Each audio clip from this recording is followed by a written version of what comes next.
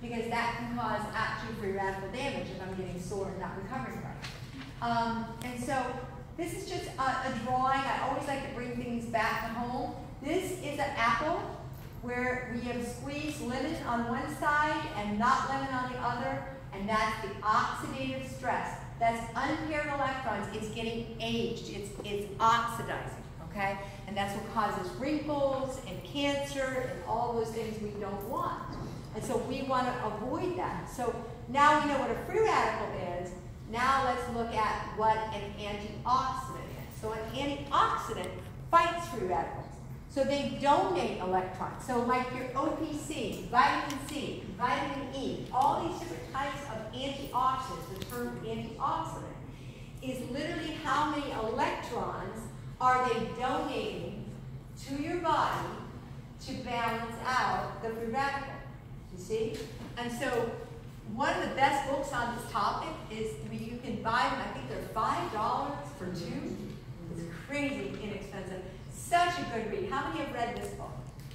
Vascular disease, joint problems, arthritis, all of that related to cardiovascular and uh, to, and to radical damage. So one of the strongest antioxidants that I know of is called pycnogenol. And pycnogenol actually comes from a maritime, uh, well, one of the sources is maritime uh, grapeseed extract and the pine bark of France.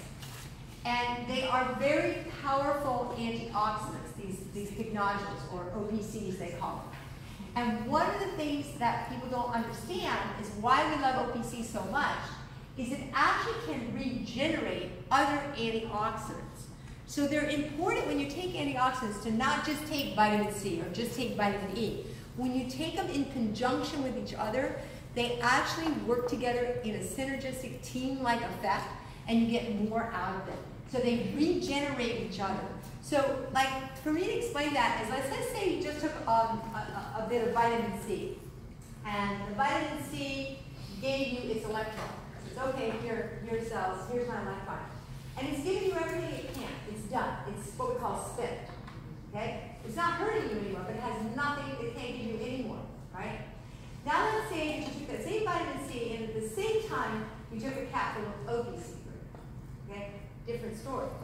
Because now OPC is going to regenerate the vitamin C and make it come alive more, electrons to donate.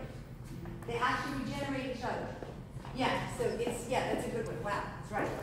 So, one reason I love OPC so much is it's such a powerful um, antioxidant. It has a lot more electrons than vitamin C and vitamin E and many other of our antioxidants. It has a whole host of more electrons to donate.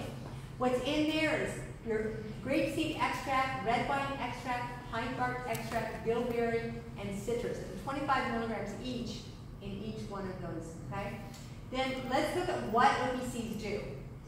They, again, super antioxidant, anti-inflammatory, Antihistamine. Who can tell me what an anti, give me an example of what, any, why I would want an antihistamine?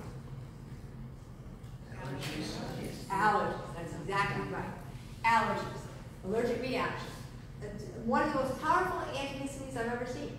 You can take this and people that are on Claritin and you're giving it to them because they have arthritis and all of a sudden they're coming back and going, oh my God, I don't need a Claritin anymore.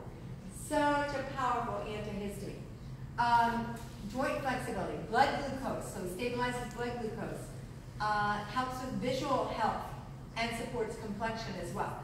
So many things. So here's just showing a, uh, a study. You can go to pycnogenol.com and research for days. There's so many articles in here. But this just shows you how it's stabilizing blood glucose. So anyone that is struggling with elevated blood sugars or low blood sugars, this is great for. And also, it's really good for someone that's trying to lose weight because it's going to make you. How many people felt like you had less cravings